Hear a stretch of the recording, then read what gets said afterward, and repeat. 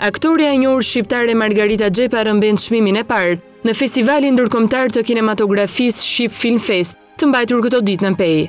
Çmimin e aktorit më të mirë e ka fituar Shaçer Nec nga Izraeli, ndërkohë që regjizori më i mirë u shpall polaku Bartosz Krulik. i cili gjithashtu u vlerësua edhe me çmimin Grand Prize, të dhënë nga juria profesionale e festivalit në sallën e Kinoteatrit Jusuf Gërvalla të Pejës. Ndërkaq çmimi tjetër i Festivalit të Metrazhit të Shkurtër në Pejë Faruk Begolli shkoi për Korab Lecin nga Kosova me filmin Xhini.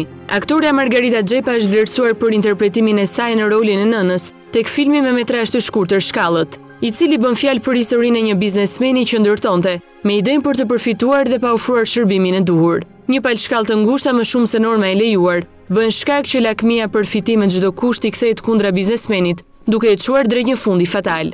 Filmi Shkallët me regji të Ilir Harxhi dhe Artan Minarolit është vlerësuar me çmime edhe më parë, sikundër ndodhi dhe në Festivalin e Kinematografisë të Vendeve Mesdhetare në Montpellier të Francës, ku filmi u vlerësua me çmimin Grand Prix në gjinin e metrazhit të shkurtër. Aktorja Margarita Xhepa duket se është e paarritshme, sa u takon roleve të nënave në kinemanë shqiptare.